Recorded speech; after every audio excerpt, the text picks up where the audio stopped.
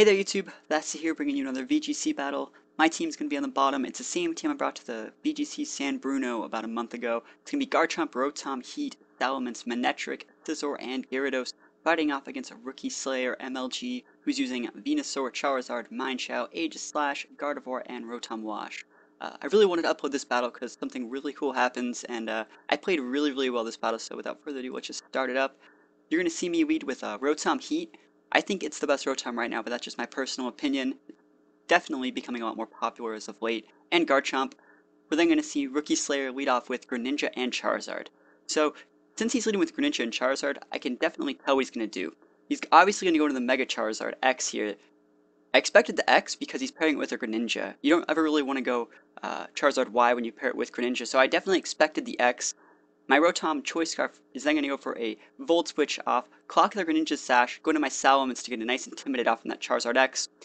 There's the Mat Block that we all saw coming a mile away. And I, like I said, I saw it coming, so I am going to pop a Swords Dance with my Garchomp. And the Charizard X, since I definitely knew it was Charizard X, is going to go for that Dragon Dance. So right here, I'm going to go for a Double Protect just to make sure I have everything, you know. There's not, I don't want to get baited by any protects anything. I just want to scout everything and see if I can definitely get the double KO next turn. He goes for the standard play, he goes for the Ice Beams, he goes for the Dragon Claws on the targets like I wanted him to. And this is the turn where the coolest part happens. He's going to Dragon Claw my Salamence, going to proc my Berry, so I'm still going to live. And he's going to Ice Beam my Garchomp, that's going to clock my Sash, which still lets me to live. Now, he's already used both his attacks, my Dragon Claw can come out from my Garchomp, critical hit, Swords Dance, going to one-shot that Charizard X, and my Salamence can now finish off the Greninja with a Dragon Pulse. So I played that extremely well. I feel like I killed both of his Pokemon at the cost of just my items. And I still have a Swords Dance Garchomp on the board. This is what makes this battle worth uploading. He's going to send out Aegislash and Rotom. Like last turn was really good, but this is a really nice play.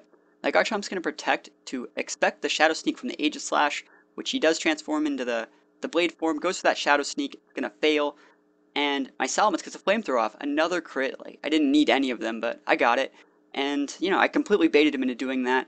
And his Rotom then is going to go for a Thunderbolt my Salamence, but this is a super big, bulky wall Salamence, so it's not even going to get the kill.